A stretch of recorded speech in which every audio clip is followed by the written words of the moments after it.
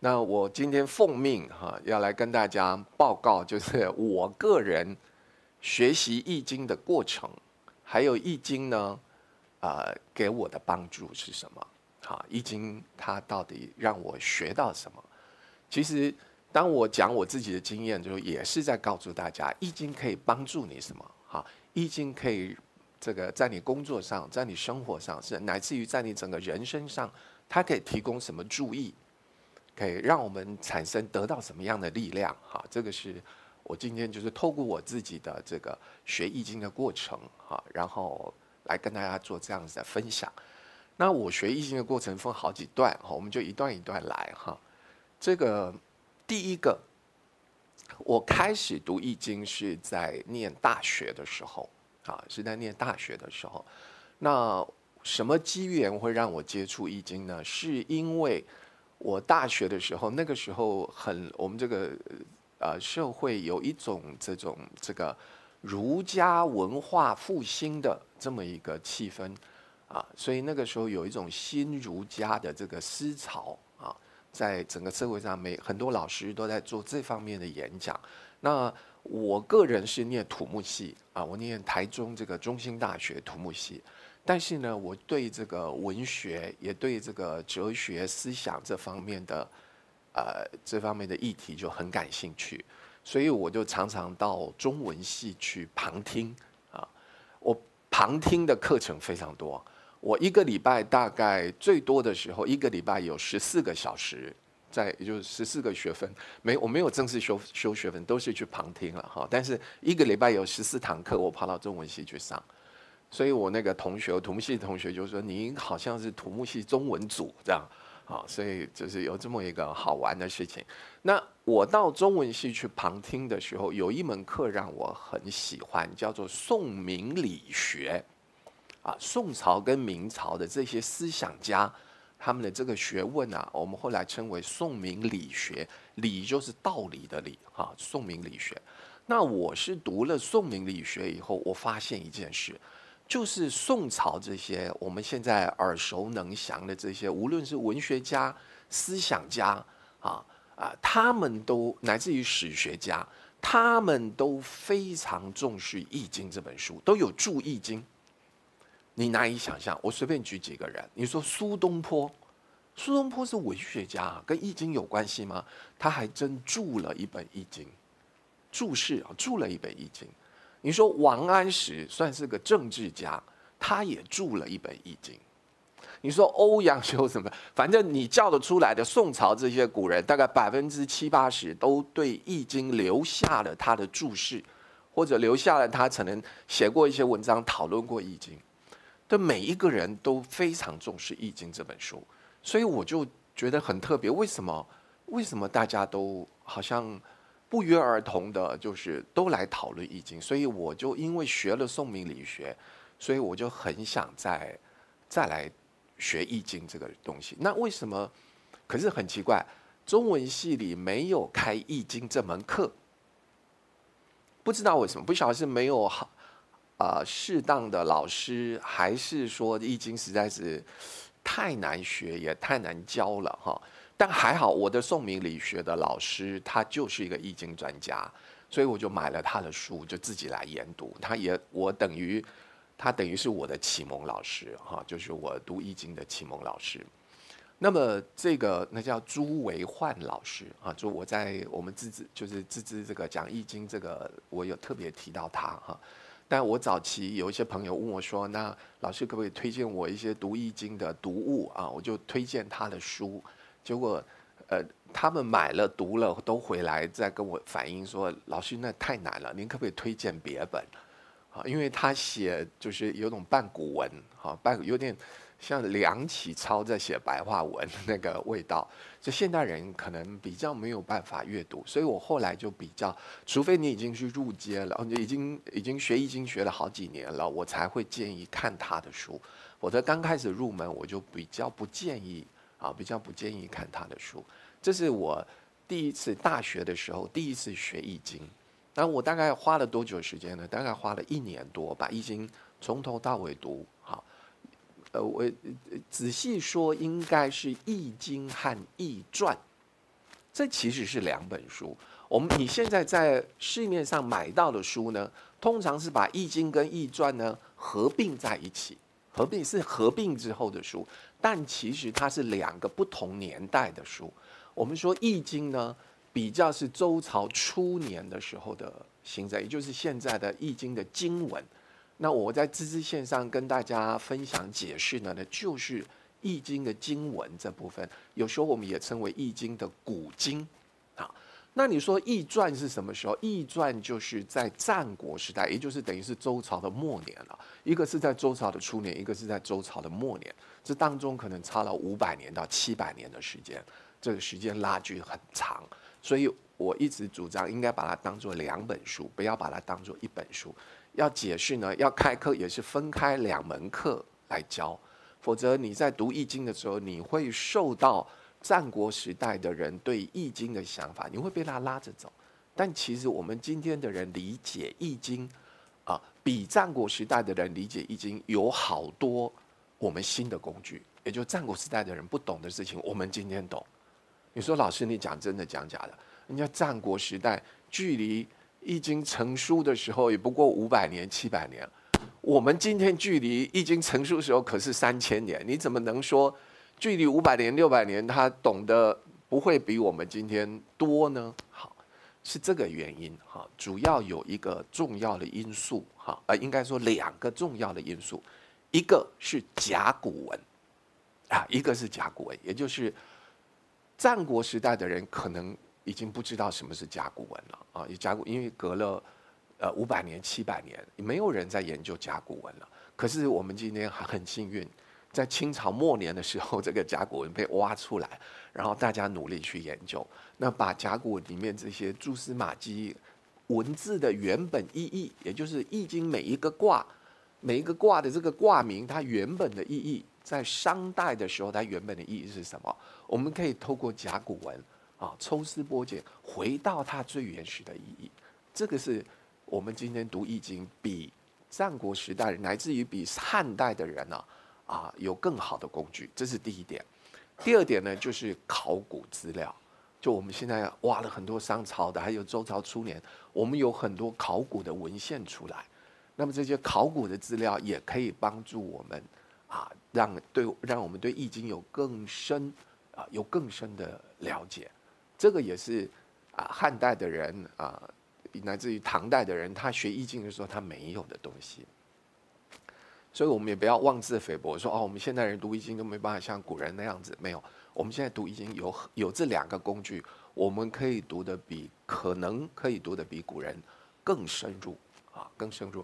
那可是就是我大学时代我还没有，我不知道这两件事情，这两件事情都必须是等我后来啊呃退伍以后到社会工作以后，我才慢慢理解啊，乃至于到后来我再去念一次研究所的时候，我才会使用这两个工具。那么在这大学的时候，纯粹就是因为宋明理学关系，再加上大家都说《易经》很难读，然后年轻人就有一种啊想要表现，想要要竞争，跟人家竞争。好，你们读不懂，我读给你看，我能读懂。有点想要逞自己的聪明啊，就是虚荣心啊。年轻总是会有这种虚荣心，觉得跟人家不一样啊，就觉得自己很了不起。当然，这个这样子读书是没有办法真正读懂里面的真正的意思。所以我大学虽然花了一年多的时间，很认真的，每天都花几个小时去读易经。读到我大四以后，说读的结果是什么呢？读的结果就是简单四个字，叫做似懂非懂。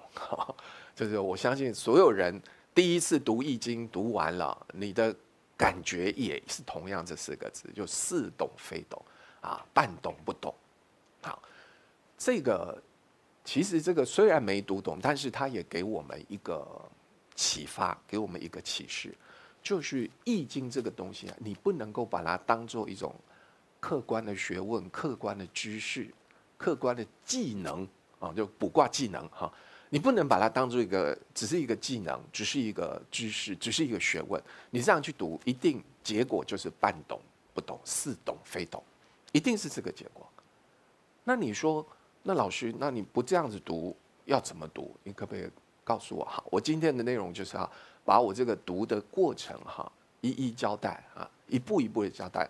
他还不是说啊，我大学这个读法不对，然后啊，我这个退伍以后我就读对了，没有，没那么快，中间还有好几个步骤。所以呢，后来我开始就是在我们这个呃新传媒这边开课的时候，开易经课的时候，我第一个跟大家分享的，就是说，我们今天读易经的话，大家不要抱着说好像你还在学校，不要用学生时代的那种学习知识、学习这个技能，不要用那个心态来学易经，因为无论你多认真，你只要用一种啊学问的这种心情去读的话。读到后来就是半懂不懂，似懂非懂，这个没有办法真的读懂。好，那关键怎么办？那我要用什么样的心情来读易经？这是关键。有没有人愿意就是分享你的体会？好，那我那我说一下，我说我抓到一个要点，就是大家我们如果。我们已经进社会工作了，甚至工作了十年、二十年了。好，我今天对易经感兴趣，我还想再来读一次。那么我读，我应该抱着什么样的心情来读？好，我跟大家说，你要抱这样的心情，就是你希望在读这个易经的过程当中，这个能够透过易经来改变你自己，能够透过易经在什么地方改变你自己？这个是关键。你如果读完易经以后，你完全没改变，你原来是怎样，你现在还是怎样，那我说对不起，你还是保持的大学念书的那个 那个状态在读易经，读的结果一样是似懂非懂，你没有你没办法真懂。什么样叫有真懂？真懂就是你读了易经有体会，而你愿意把这个体会放到你自己身上，调整你的做人做事的方法。乃至于调整你的说话方式，乃至于调整你的价值观念，乃至于调整你的思考的这个回路，重建你的思考回路。如果你做了这样的调调整，那我就说你是读懂易经的，你就不是用一种学问的方式在读易经，你已经把易经放到你的生活，放到你的思想，放到你的生命里面在读。只有用这种方式读，你才可能真正的吸收到它的好处。如果你不你读了以后，他这本书没有办法改变你。我跟你讲，这个书千万不要，你不要跟人家转述这本书的内容。哎，这我这个我可是讲真。我们今天如果读任何一本书，不单单是易经哈，我今天读任何一本书，我读了之后固然我喜欢，可是这本书并没有改变我任何。任何事情，啊，只要他有改变你的事情，比如说他改变啊，就我读的这个书，我知道，好，我以后不能够那么晚睡，好，哪怕是改变这个都可以，哪怕是你本来本来喜欢熬夜，半夜两点三点都还不睡，现在读了某一本书以后，你就哎呀，这个晚睡其实不好，不单单对自己身体健康不好，可能还有其他种种的种种的不好，你体会到你真实的。认识到了这件事情，那么你一定会做出改变。你从半夜两三点还不睡，变成好十二点以前我一定要睡，哪怕是这么微小的改变，我跟你讲，你对这个书都是真实的了解。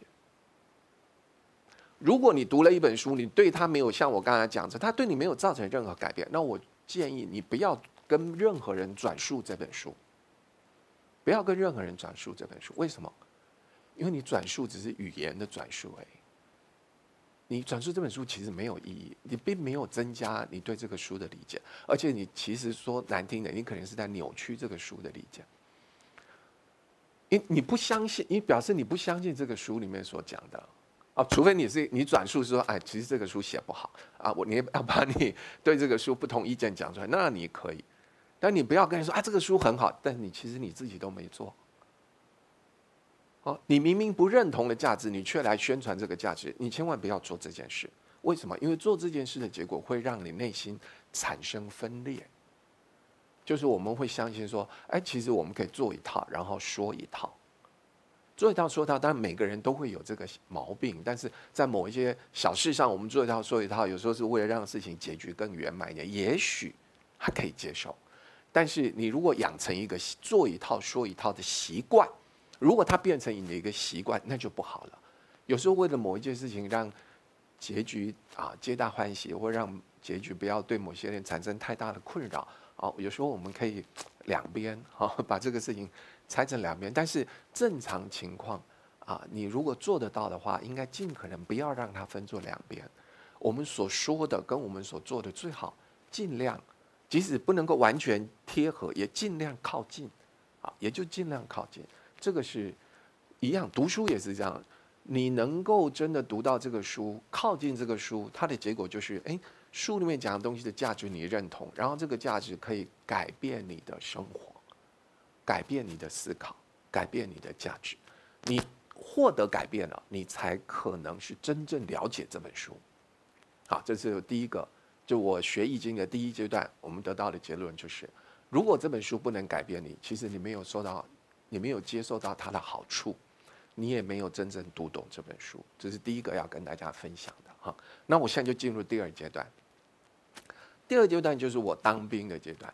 我们我现在在讲当兵这个事情啊，可能需要年纪稍微大一点的人才能够理解我要讲什么，因为。呃，比较年轻的朋友，可能当兵对他们来说就是一个战斗营，就是一个自强活动，可能哈，就是因为那个压力哈已经变得很轻了。我那个是就是我那个时代，我也不好说我是哪个时代，就我很不幸，就是抽军种的时候抽到陆战队啊，就是你怎么知道抽到？你都自己都不敢看，然后。那个整个礼堂啊一致鼓掌，啪啪啪啪啪啪，你就知道你抽到最坏的一支签哈，就没有人鼓掌，就是表示你抽到好签。如果所有人都在鼓掌，就表示大家都说哦坏签又被抽掉一支，就所有人都在鼓掌哈。那我当陆战队去就是，呃，但我他的内容我就不说，就是军队的内容我不说，但是我要讲说当兵这件事情对我最大的一个影响。就是他让我知道，而且是强迫性的、强迫性的让我放下我执，强迫性，把你的原来那个呃整个读书学习大全身沾染的那些习气，觉得我还我是什么国立大学，我是什么什么了不起？你们这些班长算什么？你班长高中毕业而已，我比你们厉害等等，就是你把你那种。就是说，一身傲气，或者一生好像觉得自己比别人聪明，比别人厉害，比什么比别人强，那种虚假的自我，那个东西在当兵的，不要说全部过程，就当兵前三个月是要彻底把你打破的。军队的新兵训练，乃至于下部队以后的前两三两三个月，他要做的这做的唯一一件事情，就是把你的。我可以这么说，就是摧毁你原有的自我，啊，摧毁你原有的自我。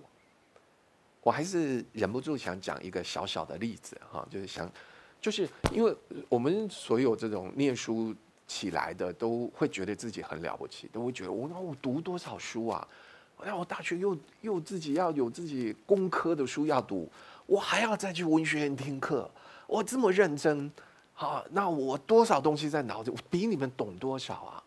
啊，随便在军队里也分享心得，我上去滔滔不绝二十分钟，啊，那你们的班长上去讲来讲去，还不是就讲个黄色笑话？啊，就是你会觉得你比他们好像不一样，你比他们了不起，然后就是我不但比你有知识，我还比你，就是我比你有道德哈。你看你们这吃槟榔啊，什么抽烟？你看，你看，就你甚至觉得你。是你的品质哈，你的人格都比他们好。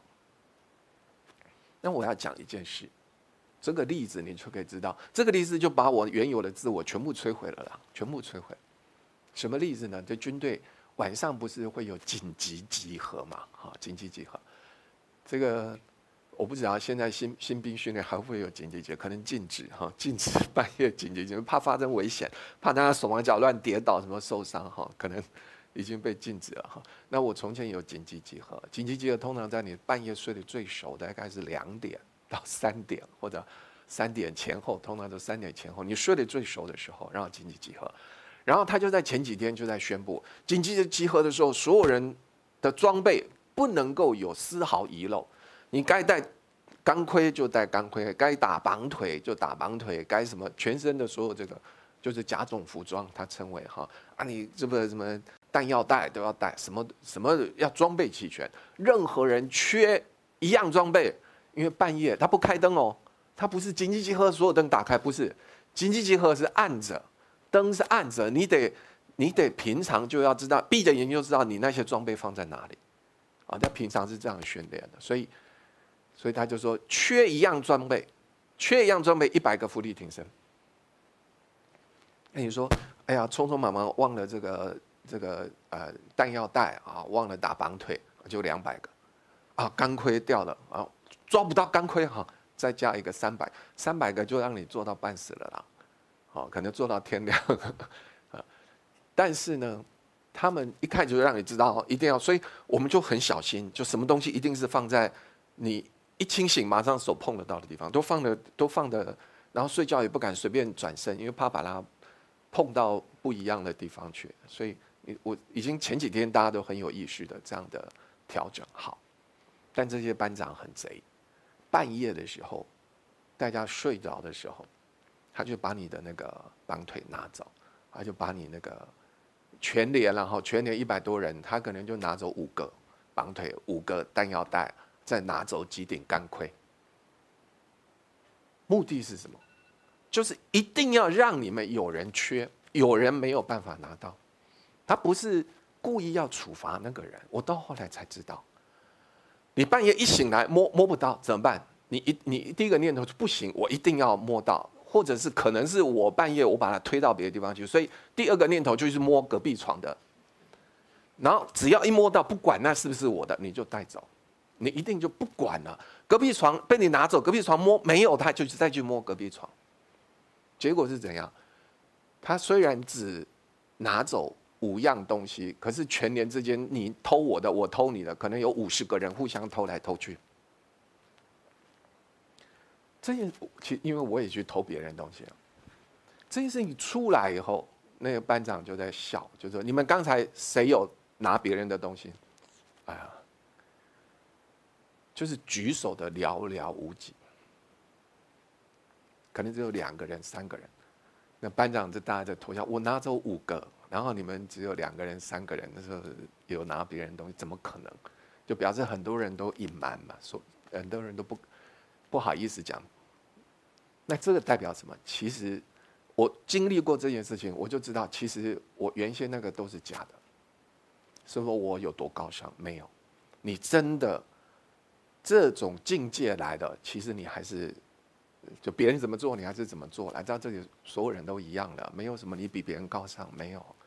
真的大问题来了，你就是原形毕露嘛。好，小问题你好像自己啊一副这个冠冕堂皇的样子。我们我们现在说衣冠一副衣冠禽兽的样子哈。但真的大问题来了，就都变成禽兽啊，没有衣冠，衣冠就丢掉了。所以，那你有什么了不起？你没什么了不起啊！你比别人家书读多，你还不是这个时候，你还不是做同样的事？跟你你瞧不起的人，你做跟你瞧不起的人同样的事情。这个让我，这个给我一个很大的启发，就是当兵给我一个很大的启发。什么启发呢？就是我如果还是抱持的某一种骄傲，抱持的某一种我执哈，强烈的自我的执着，或者自我的这种。过度坚持自己的原有的这个虚假的价值观念，任何书我都读不进去。我读到后来都只是在读自己心里，都不断的在加强自己内心的自我暗示而已。我并没有真正接受这个书要教我的事情。如果你那个自我那么强，你那个自我从来没有被打破过的话，那么任何书其实你都读不进去，你都只是读这个书的表面。因为。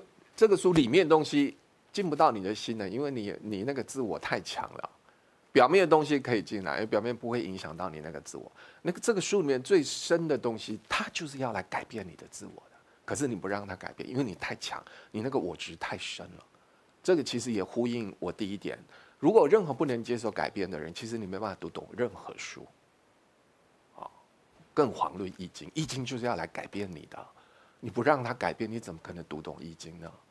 啊，所以当兵这个经验其实对我非常重要，啊，它就是就是一个人改，所以我退伍以后我再读易经，其实又不一样了，那个味道不一样。这是我要跟大家分享的第二件事情，就是你要放下你原来那个你以为很了不起的那个自我，那个自我你要适时的放下，其实没什么了不起，那只不过你从小到大一层一层被包上去的，从小到大别人都称赞你，工作老板赏识你，那是真的吗？其实不不见得是真的啊。不见得是不要太执着那个东西，你要开放，稍微开放，或者把那个东西放软一点，允许书新的东西来震撼你的内心，改变你的内心，啊，这个你才可能真正得到书的好处啊，尤其是易经，这是第二个要跟大家分享。第三个要跟大家分享的，就是说我退伍以后就呃找了一个工作，就是我第一份工作也是出版社的工作哈。那我在出版社工作就是一个，而且是我那个时候工作的是，等于是全台湾最大的出版集团了，它是牛顿出版集团。现在牛顿就比较哈比较不好。从前大概在一九这个一九八零年代哈，这个牛顿是台湾最大的出版集团，他手上出版了八本杂志，啊，而且还有五家的出版社。等于八加五等于十三家出版社的一个集合在一起的出版集团，在当时这是可能是最大的一个出版公司。当然，现在这个我们台湾有城邦城邦哈城邦出版集团，那规模当然比从前这个牛顿还大。那我就是在牛顿工作，然后我的这个那个时候牛顿的这个总编辑哈牛顿杂志的总编辑，这也是我们现在易经这个大师刘君祖。啊，刘君祖老师，那他那个时候等于是不是我的直属长官了？但是是我，呃，隔壁办公室的长官，所以我也慕名去去找他一下哈。所以，就是我就碰到他，我都叫他刘大哥，刘大哥这样哈。这个对，那因为人家已经他这个讲易经，当然都比我资深了，就学易经也比我资深哈，所以。就是我现在对他还是很尊敬，不，这个再往下讲就，就是我其实我自己在开始开课之前，呃，我就问我，我我就自己问自己，就说我讲的东西，呃，有没有跟刘老师讲的东西有不一样？我如果觉得，我如果自己评估，我自己先写好稿子，然后我再。比如说我讲乾卦，那我自己写好稿子，然后我再看刘老师的他讲乾卦的这个这个内容，录音带还是什么，我看有没有不一样。如果有，比如说百分之五十都一样，那我就觉得我还是不要讲好了，就人家就去找去听刘老师的课就好了。哎，结果我发觉还有蛮大不一样的地方，所以我就觉得，那我就，也就是说，我这样我才比较敢讲我自己的体会跟想法这是。一个题外话跟大家讲一下，好，那我现在讲的就是第三阶段学易经的第三阶段。学易经第三阶段就是我进入到一个职场，这个职场人很多，因为它是非常大的公司，啊，所以有各个的部门，各个部门之间就有各式各样的利害关系，还有上位下位的关系，啊，就是主管跟部属，啊，所以比如哎关系就很复杂，比如说你跟你的直属直属的长的主管。还有你跟不是你的直属，可是他也是长，他也是主管，中间的相处方式，你们之间的利害关系是什么啊？这就很复杂。还有你怎么跟隔壁的同事，就是同一个部门的同事跟不同部门的同事之间，你们这个呃沟通谈话，呃要注意什么样的礼貌，注意什么样的这个美感啊？这个就是你整个环境变复杂了。好，我现在第三个要跟大家分享就是。你的环境变复杂以后，也是我们学易经非常好的一个助力。如果你永远处在一个非常单纯，像学校那样子，学生上课、下课、考试那么单纯的环境，其实老实说你也读不懂易经，因为你对人跟人之间的我们叫吉凶哈、祸福哈或者顺逆啊这种关系你不理解，什么样的话、什么样的情况，你其实是触犯了别人。什么样的情况其实才真正有帮助到别人？你对这种不了解，其实你也没有办法，你也没办法读懂易经，因为易经有很大一部分也是放在这个上面。所以一个复杂的工作环境或者生活环境，其实对我们学习易经很有帮助啊。这个是，但在这个这个时候，因为环境很复杂哈，所以这个时候呢，我才开始学习卜卦。学习卜，我不是一开始就学卜卦。我们现在有很多朋友学易经，一开始是学卜卦。比如说他在大学的时候就学易经，因为大现在大有时候大学有一些社团，那有那个武术的社团，就专门教人家什么八字、紫微斗数、易经卜卦这种，有这种社团。所以有很多人学易经的入门，他就是从卜卦入门。好，我认为可能不是一个很好的方式。我还是认为是先学易经的内容。学，我现在的习惯就是你先学易经，易经分上经跟下经，六十四卦前三十卦是属于上经，后三十四卦是属于下经。我现在都统一三十卦学完以后，我才教人家卜卦，啊，才教人家完整的卜卦方法哈。那还没学易经之前，第一堂课我就教你卜卦，可是那个卜卦就是比较粗浅的卜卦，也教卜卦也教，所以你们。听易经马上就可以学卜卦，我第一堂课一定就教卜卦，可是是一个很粗浅的卜卦，而且我都强调说，当你学会这个方法以后啊，我希望你人生的第一卦你要非常珍惜，啊，人生的第一卦，这我学会卜卦，我要卜的人生的第一卦，啊，那你们有听过知知就知道，我建议的人生的第一卦是什么？啊，我希望你补说。我现在我的个性哈，或者是我有什么地方是需要改进的，我希望你补一个反省自己的卦，啊，我希望你补一个呃，你想怎么改变自己，应该怎么改变自己的卦，这作为你人生的第一卦。这第一卦有没有了解没关系，因为你还没真正读易经嘛。但你要把这一卦记住，这一卦会帮助你学过整个六十四卦，它会帮助你学。他会跟着你学六十四卦，因为你有一卦，你对这一卦很好奇，你觉得它对你人生有某种调整的力量，好像有个调整的方向，那你就把它记住。等你到学到那一卦以后，你会特别有感受，因为你这个问题已经累积了很深了。比如说，你不假设了，我随便假设，假设你补到二十三卦，哈，我这我这是随便说的哈。啊，假设你补到二十三个，二十三卦是一个波卦啊，波卦，哎呦。这个，这个非常好像非常深入了。二十三卦是个波卦，对我来说，波卦是一个修行卦，非常而且非常这个呃是很深入的修行卦哈，是个波卦。你补到波卦，可是你一开始刚学而已啊，我不知道波卦什么意思，没关系。但是你这个很想要知道知道波卦是什么意思的这个念头，会跟着你从第一卦一直一直一直跟跟跟到二十三卦，然后当你。碰到二十三卦啊，一上完课你们恍然大悟，你的你对这一卦理解会比别人特别深刻，因为你的理理解包含到了，包含到你这个问题在心里放了好久了，然后读完以后就哦，真的原来我人生在这个地方要做一个比较大的调整，好，这个就是就是我就特别作为这样的安排，就一定第一堂课就教人家卜卦，可是。希望第一卦你是补啊，你自己什么地方需要调整，有什么地方需要改变，这个来当做你人生的第一卦啊，而且也希望能够成为你生命非常重要的一卦啊。这是就是说开始学卜卦，那学卜卦有什么好处？卜卦的一个最大好处就是，当然你学卜卦你要有个条件，就是你那个环境必须是复杂，你才有卜卦的题材。如果环环境不够复杂，你补来补去也就是那几个卦可以补。那我的感情问题，好，这一我比如说你如果是学生，补来补去就三个问题。第一个问题是说我感情问题，好，第二个问题就是这个，呃，我这一科哈能不能过？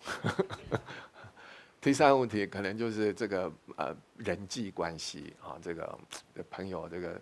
有人喜欢你，有人不喜欢你啊，怎么办？就是你补来补去，就这三个问题啊，哈，没有。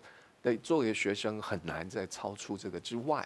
但是你进入一个复杂的职场工作，哦，那个哪怕人际关系，人际关系就很多啊，里面就很密密麻麻，很多问题可以补。那我在这里我就简单介绍我当初自己是怎么透过卜卦来学易经哈。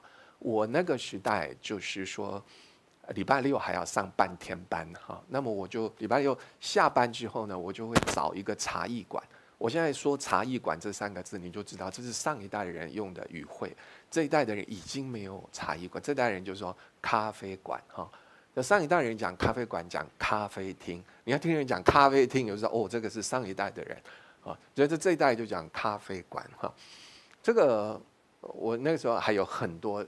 就是很多茶艺馆，我就会找个比较安静的茶艺馆，就在里面呃下班，因为那时候茶茶艺馆也会提供简餐，哈，我就在下班以后一点左右到个地方，随便吃个简餐，啊，叫叫一壶茶，哈，然后我就从一点大概待到五点半，那花四五个小时的时间，啊，那四五个小时我大概可以补三到五个卦，三到五个卦。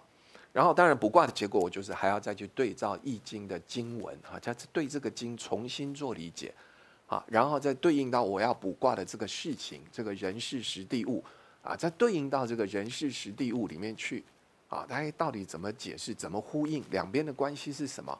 卦象跟我那个现实的环境之间的呼应是什么？然后卦象可以告诉我这个我这个现实的这个情境呢，可能会朝哪一个方向发展？让我能够事先有所准备，好，这样子持续多久？大概持续了一年半的时间。当然，我不是每个礼拜都去啦，可能有时候会比较有，呃，但我常常去就是了。也就是说，在那一年半当中，可能我去了超过五十次，我去了超过五十次这个茶艺馆。那假设我每一次在补三到五卦，假设我就每一次平均数四卦来说。五十乘以四就是两百，所以我估计那个时候我大概是补了两百多卦，补了两百多卦。好，那两百多卦是什么意思？两百多卦意思就是，如果六十四卦，好，六十四卦，呃，跟两百的关系大概是三倍的关系。也就是说，我在那一年半中当中呢，我又把每一卦又复习了三遍，每一个卦我都复习三遍，不但复习三遍，而且这一次的复习不是。干枯枯的只有看文字内容，而是有现实的人事实地物来跟他互相佐证。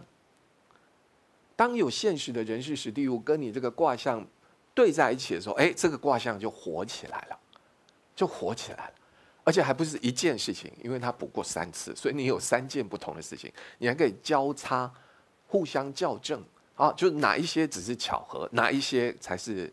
呃，它有规律在里面，那个呼应是有规律的。哪一些？因为它如果是有规律，就应该每一件事情都应该要出现同样的这个规律。而如果只出现两件事情，有一件事情不是，那某一些事情就它不是一个规律，可能是这个呼应只是一个巧合性的呼应。所以我到现在我都啊，很多人问我说啊，老师怎么学这个卜卦？怎么样学到好？我说卜卦学到好，就是你要卜两百个卦，你就能够学到好。而且呢，你最好有个笔记本。把你每一次卜卦的时间、事情啊，卜卦的结果要写在上面，最后还要留半页的空白。三个月以后要回来再看你这个卜卦，把三个月以后的情况的发展再写在下面，这样可以印证你当初对这个卦的解释，什么地方对，什么地方错。好，这个是学卜卦的不二法门，不是一个好老师就可以教你卜卦，一个好老师只能教你卜卦的方法。跟某一些特殊的卦的解释，哈，呃，他会教你那些重要的解释，不要落入俗，不要落入俗套，就是比如说我举个，你们听字字你就知道，第一卦乾卦，乾卦叫元亨利贞，你看所有书都把元亨利贞写的哇，写的多好，啊，又亨又通顺那的大大的通顺，啊，大大的吉利等等的啊，就是元亨利贞，但是呢。现实上的乾卦是一个非常辛苦的卦，啊，是朝九晚五还要晚上加班啊，这叫呃，是不是有个现在有新的名词叫呃九九制，是不是九九九九六哈？要九九六，什么叫九九六？早上九点上班，晚上九点下班，一周工作六天，九九六哈。就乾卦就是九九六，你知道吗？这其实乾卦是一个辛苦的卦。可是辛苦有没有代价？他辛苦有代价。那请问他辛苦的代价啊？他回报你在什么地方？回报你不是回报在啊这个什么呃就是事业啊发展的很好，不是，他回报你回报在你的能力的提升。这是我长期卜卦的结果。不过两百个卦以后，你才能够明白它的原理原则，真正的呼应关系是在这个地方。所以我之后我后来才会跟大家讲，如果你帮一个已经五六十岁的啊前辈帮他卜卦，那五六十岁前辈跟你问你说：“哎，我现在呢有一个 啊创业的想法，或者呢我要去带领一个新的部门啊，你帮我看看我这个去应该怎么做？”哈，卜到乾卦，卜到乾卦，如果是已经是个五六十岁的一个老前辈，那你可能就是要评估一下他的体力、他的抗压力，还有他的企图心是不是真的有那么强。如果没有的话，其实你应该稍微劝退。为什么呢？因为乾卦是一个辛苦的卦。如果他他抱持着说，哎，其实这是我一个工作的回报，我到那边希望能够轻松一点，能够有很好的得力的。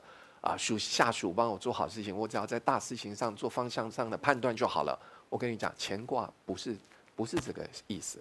乾卦不但在大方向上要做判断，在小事情上都要让你很操心。所以，但这就跟传统的解卦是完全不同的，跟你去读书的解卦是完全不同的。那我怎么知道有这个分别？因为我补过两百个卦，而且在之后啊。这之后的在不断补的卦当中，都不断去印证这件事情，所以我就说，像这种事情，就一个老师他可以告诉你，因为这是一个巨大的差别。那一个老师可以告诉你这个巨大的差别，你就不必自己摸索两百个卦。